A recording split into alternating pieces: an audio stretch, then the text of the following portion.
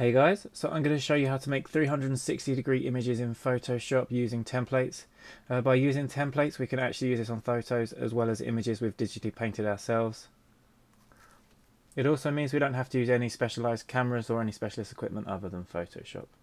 First thing we need to do is go through to my website, the link is on in the description below, and uh, we're going to click on this 360 degree Facebook templates.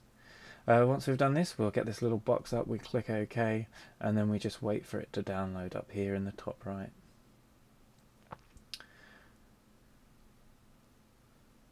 It should take a while to download, but once it's done, if we right click on here and click open folder location, it'll take us to where the zip file is.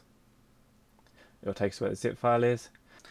And then we right click on the file and press extract all and press OK and this should drop another folder just underneath it with all the files unzipped. And if we click this, this should take us through to our template folder. Now in our template folder there's lots of different templates. Uh, the top one with the sphere means we can look side to side and all around up and down as well. And uh, we've got some that are 120, 150 degrees for example. Uh, but today I'm going to be using 360 degrees so when it spins all the way around it will join itself to the other side of the picture. I hope that makes sense. So I've clicked on the uh, 360 degree folder and then I'm going to grab the template and drop it into Photoshop. Once it's into Photoshop I'm going to open the picture I've wanted to edit. Uh, in this case I wanted to use uh, like a moody lighthouse picture so I'm going to go through into my files, find the lighthouse image and then drag that into Photoshop. Now once it's into Photoshop, I'm going to need to resize it to the size I want it. Obviously I'm going to want it going towards, obviously I'm going to want it going edge to edge with the template file. So once I've done this, I can then edit it as well, so I can make it, I can change the curves or the brightness as much as I like. And if you've got any other things you'd want to edit, this is the time to do it. Okay, so I'm happy with this now. I'm going to click OK and then I'm going to go to File, Save As, and I'm going to save it in a folder. Now at the moment it's going to be a PSD file, so when we save it's important that we uh, click down here and uh, we change it into a, a JPEG file.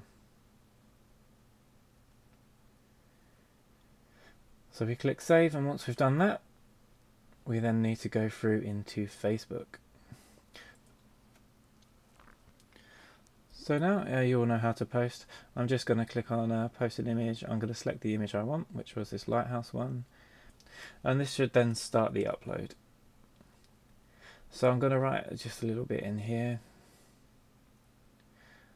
And then once I've done that and I put all the hashtags in, I can have a little preview of the image. So here it is. Now this isn't the best image, um, obviously there's going to be a straight line where the image curves around because I haven't made any effort to make it a joint there. And actually I think there's a blemish on there as well which is a bit awkward. I'm going to have to give my camera a quick clean. But this should give you a really solid idea of how to make a 360 degree image in Facebook and uh, once you've got the knowledge you can use it for whatever you like. Um, I hope you found this video helpful. If you have, given it a thumbs up makes me know I'm going in the right direction. And I hope to see you in the next one.